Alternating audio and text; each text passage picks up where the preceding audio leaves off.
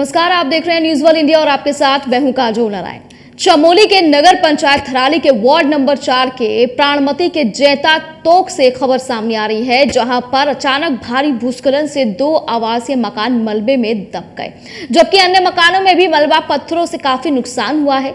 जानकारी के मुताबिक लगभग सुबह पाँच बजे जैता गाँव के ऊपर पहाड़ी से दो चीड़ के पेड़ों का भूस्खलन के कारण टूटने से उसके समीप से थराली पावर हाउस के लिए आ रही पानी की भारी भरकम नहर टूट गई, जिससे नहर का सारा पानी नीचे आबादी की तरफ़ तेज़ी से बहकर भारी भूस्खलन का रूप धारण कर लोगों के मकानों को भारी क्षति पहुँचा गया है। गनीमत रही कि यह घटना सुबह के समय हुई, जिससे लोगों की जान बच पाई, लेकिन लोगों के आवासीय मकानों को भारी नुकसान पहुँचा है। आइए आपको सुनवाते हैं आसपास के लोगों का, चश्मदीदों का, क्या कुछ कहना है। प्रातः पाँच बजे के लगभग अपना नगर पंचायत थराली के वार्ड नंबर चार, थराली गाँव में जो प्राणमती तूक है, वहाँ पे बारिश के कारण जो उरोड़ा विभाग के द्वारा जो संचालित पावर हाउस किया जा रहा है, उसकी नहर टूटने से अपने प्राणमती में दो से तीन मकानें पूर्ण रूप से क्षतिग्रस्त हो चुकी हैं। और आ, मैं आपके माध्यम से ये कहना चाहूँगा कि पूर्व में भी पिछले वर्ष जो है कि संबंधित विभाग उरेड़ा को ये बताया गया था स्थानीय लोगों के द्वारा और जनप्रतिनिधियों के द्वारा कि भाई यहाँ पे इन लोगों के सुरक्षा की दृष्टि से आप जो उपाय हैं वो करिए और अपने तो जितने भी यहाँ पे कर्मचारी होते हैं उनको इस बरसात के मौसम को बिल्कुल एक इस तरीके का काम वो करें कि भाई जिससे लोगों को नुकसान ना पहुँचे। आज सवेरे तकरीबन पाँच बजे थरारी नगर पंचायत की प्राणमती तोप में लैंडस्लाइड होने के कारण, वहाँ पर उड़ीड़ा की एक नहर है। नहर को टूटने के कारण जो प्राणमती का एक तोप है, उसके तीन चार मकानों को भारी क्षति पहुँची हुई है। जिसमें से दो मकान पूरी तरह से ध्वस्त हो चुके हैं और वहाँ पर रहने वाले लोगों को काफ़ी नुकसान हुआ है। उनका सारा जो सामान है, साजो सामान, वो बिल्कुल नष्ट हो चुका है। और वहाँ पर आज सुबह ही जैसी हमें सूचना मिली कि वहाँ पर ये नुकसान हुआ है। हमारे साथ नगर के नगर अध्यक्ष। पंचायत खराली में वार्ड नंबर चार में प्राणमती स्थित गाँव में, जो वार्ड चार में स्थित है, वहाँ पे सुबह पाँच बजे के लगभग पेड़ टूटने से पावर हाउस की नहर पे गिरा और वह नहर में इतना पानी था कि सारा पानी वो बस्ती के बीच गया, जहाँ से कि हमारे हमारे उस वार्ड में तीन मकाने जमी जोद हो गई हैं। वो तो भगवान का शुक्र कर रहे हैं हम लोग कि जो वहाँ पे जान का खतरा नहीं हुआ, और सारे गाँव वाले वहाँ पे अभी भी बारिश बनी तो जैसे ही घटना की सूचना स्थानीय लोगों को लगी, वो वहाँ पहुँचे और राहत बचाव का काम शुरू किया। इसके बाद प्रशासन की ओर से राजस्व उप निरीक्षक मौका मुआयना करने के लिए पहुँचे। स्थानीय लोगों ने बताया कि जिस नहर के टूटने से घटना घटी है, उस नहर और पावर हाउस में विद्युत उत्पादन हो ही नहीं रहा है, जबकि इस नहर में बिना वजह के पानी छोड़ा गया। ग्रामीण बताते हैं कि स्थानीय लोगों की अपील पर प्रशासन ने बरसात में इस नहर में पानी नहीं छोड़ने के निर्देश दिए थे। परंतु इसके बावजूद ठेकेदार की लापरवाही की वजह से पानी छोड़ा गया। लोगों का कहना है कि यदि नहर में बेवजह पानी नहीं छोड़ा जाता तो ऐसी भयंकर घटना नहीं घटती और लोग बेघर भी नहीं होते। आपको ये भी बता दें कि यहाँ पर लगभग 10 परिवार निवास करते हैं और सभी भूस्खलन की चपेट में आ गए हैं। नरेंद्र भारती, नगर पंचायत अध्यक्ष, प्रतिनिधि हमारे साथ फ़ोन लाइन पर जुड़ गए हैं। नरेंद्र जी, बहुत स्वागत करती हूँ आपको न्यूज़ वर्ल्ड इंडिया में। नरेंद्र जी, मेरी आवाज़ मिल रही है आपको? नरेंद्र जी, सुन पा रहे हैं आप मुझे? तो मेरी आवाज़ उन तक नहीं पहुँच पा रही है, लेकिन लगातार हम कोशिश करेंगे उनसे संपर्क साधने की। तो कई परिवार बेघर हो गए हैं। बताया जा रहा है कि ठेकेदार की वजह से हादसा हुआ है, क्योंकि विद्युत उत्पादन का काम नहर के पास नहीं हो रहा था। उसके बावजूद भी नहर से पानी छोड़ा गया, जिसकी वजह से कई लोग बेघर हो गए हैं। दस परिवार यहाँ पर रहते थे। सभी भूस्खलन की चपेट में आ गए, जबकि मनोज पुरोहित, जो कि यहाँ पर प्रभावित हैं, और गोविंद पुरोहित की मकानें पूरी तरह से ध्वस्त हो गई हैं। बताया जा रहा है कि घटना के बाद भी ठेकेदार ने नहर का पानी बंद नहीं करवाया। तो मनोज पुरोहित प्रभावित हैं वो हमारे साथ फ़ोन लाइन पर जुड़ गए हैं। मनोज जी जी जी जी आपकी मकान मकान और दुकान दोनों क्षतिग्रस्त हुआ है। इस जी जी जो बहाव आया पानी का। है तो कोई जी मेरा मकान। जी जी बोलिए। जी। जी मकान पूरी गए क्षतिग्रस्त हो गया और उस मकान के अंदर जो सामान था वो भी सब नष्ट हो चुका है। आरोप और इसमें आप लोग ये आरोप लगा रहे हैं कि ठेकेदार की मनमानी की वजह से ये पूरा यहाँ पर पानी आया।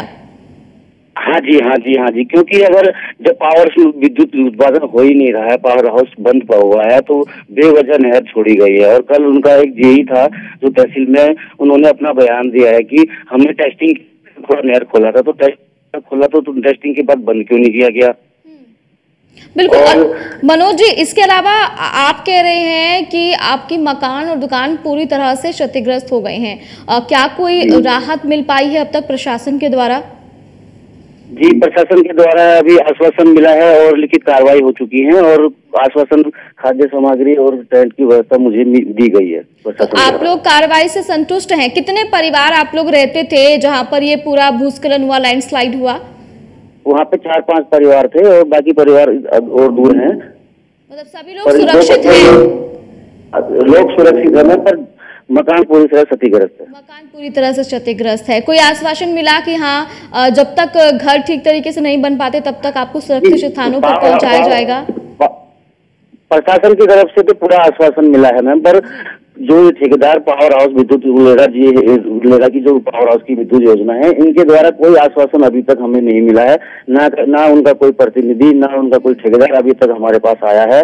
और जब ये घटना घट गई, मकान क्षतिग्रस्त हो गया, उसके चार घंटे बाद भी उनका कोई चौकीदार, ठेकेदार कोई नहीं, उस नहर को बंद करने नहीं आया। वो मज़बूत से हमने स्वयं जाके साढ़े पाँच पाँच बजे मैंने वो नहर तोड़ी है। ठीक है उम्मी- उम्मीद है कि जब इस खबर को प्रमुखता से हम दिखा रहे हैं तो ठेकेदार पर भी एक्शन लिया जाएगा। जो प्रशासन ने आँखें बंद कर ली है, वो भी आँखें खोलेगा। क्योंकि ठेकेदार की वजह से ही ये हादसा यहाँ पर हुआ है। फ़िलहाल मनोज जी, बहुत शुक्रिया आपका हमारे साथ जुड़ने के लिए।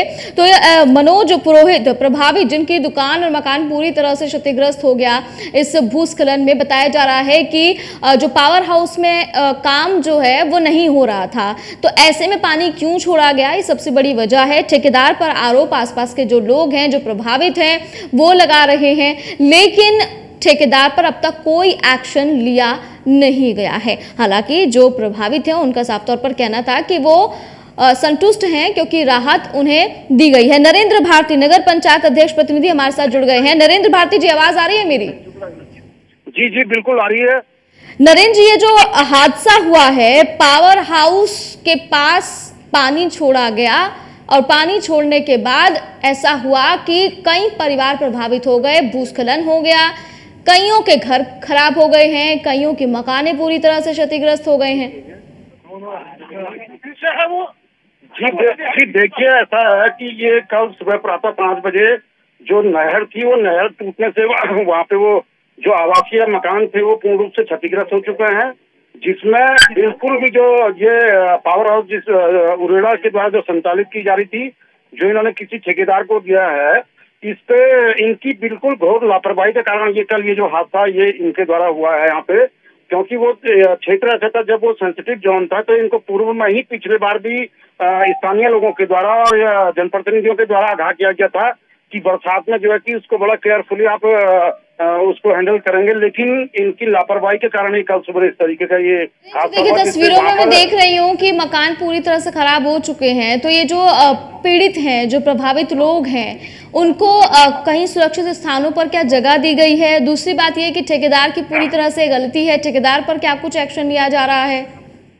बिल्कुल बिल्कुल। देखिए मैडम कल ही हम लोग अपना स्थानीय प्रशासन के साथ वहाँ पे पहुँचे थे जिसमें उप जिलाधिकारी थराली भी हमारे साथ था और वहाँ के जो रेवेन्यू क्षेत्र के जो पटवारी थे वो हम लोगों के साथ थे। तो जो तत्काल प्रभाव से जो जितनी उनकी मदद होनी थी वो हम प्रशासन के द्वारा दिया गया है और उन लोगों के पास के ही जगह पे जो है कि वहाँ पर व्यवस्था करवा दी गई है। और अभी उन लोगों का पूर्ण रूप से जो सामान है सब चीज़ें वो वही मलबे में दबा हुआ है। उसको निकालने का काम जो है कि मजदूरों और स्थानीय लोगों के द्वारा किया जा रहा है। और बिल्कुल नरेंद्र जी देखिए यहाँ पर ये शुक्र है कि सुबह का वक्त था वरना बड़ा हादसा हो सकता था। सुबह लोग जाग जाते हैं लोगों को पता चल गया। अगर रात में ऐसा कुछ होता तो कितना बड़ा नुकसान यहाँ पर हो जाता उसकी जवाबदेही किसकी होती? ऐसे ठेकेदारों पर एक्शन लिया जाना चाहिए तुरंत लेना चाहिए और ऐसे ठेकेदारों को ठेका भी नहीं देना चाहिए। बिल्कुल निश्चित रूप से ऐसे लोगों के खिलाफ जो इस तरीके के आ, किसी के जान माल का नुकसान होने के अंदेशे के बावजूद इस तरीके के अगर इन लोगों के द्वारा कृत किए जाते हैं तो इनपे बिल्कुल कानूनन जो है कि इनपे इन पे एक्शन लिया जाना चाहिए इनके खिलाफ कार्रवाई करनी चाहिए। चलिए ठीक है। इसमें प्रशासन के साथ जो हमारी वार्ता हुई है उन्होंने बिल्कुल आश्वस्त किया है। और अपने नगर पंचायत थराली की ओर से भी अपने जो लोग प्रभावित हुए उनको हर संभव मदद मदद दिए जाने की यहाँ पर जो कि प्रयास किए जा, जा रहे हैं। ठीक है नरेंद्र जी बहुत शुक्रिया आपका हमारे साथ जुड़ने के लिए। तो ये पूरा मामला जहाँ पर पावर हाउस में बताया जा रहा है कि बिजली उत्पादन का काम नहीं हो रहा था। उसके बावजूद भी वहाँ पर पानी का इस्तेमाल किया गया, नहर से पानी छोड़ा गया, जिसकी वजह से भूस्खलन जैसी स्थिति हो गई। भूस्खलन की वजह से कई पेड़ गिर गए और पेड़ घरों के ऊपर गिरे हैं, जिसकी वजह से मलबा आ गया, पत्थर आ गए, कई घरों को नुकसान हुआ है। हालाँकि गनीमत रही कि इस हादसे में जान माल का नुकसान नहीं हुआ है। तो फ़िलहाल के लिए इतना ही, आप बने रहिए न्यूज़ वाल इंडिया के साथ।